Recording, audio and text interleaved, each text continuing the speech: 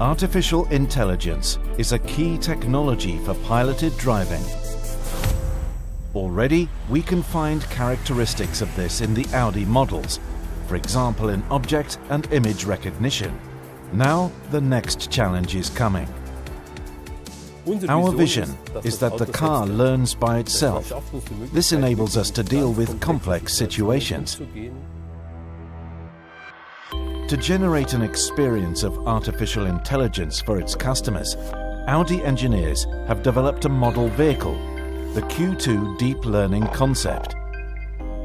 The car has developed strategies to easily manage even complex parking. At first, the algorithm learns on the computer. Parking is simulated with several million repetitions. In so-called deep reinforcement learning, positive results are rewarded with a high score. The error values decrease continuously. In the arena, the engineers check whether the car can find the parking lot from many different positions. For this, they also place the identification marker randomly. The difference to our real vehicles is relatively low. We also see different sensors connected to a powerful central computer, for example a front view and a rear view camera to locate the parking lot, but also different ultrasonic sensors to detect obstacles.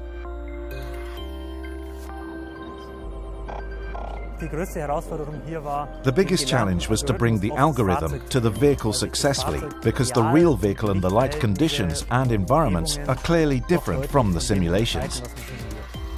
With the Q2 deep learning concept, Audi has amassed a great deal of valuable insight, which will flow into future series developments.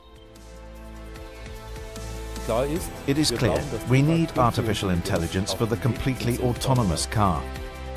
This is why Audi makes its cars even more intelligent for the future, ensuring more comfort and more safety.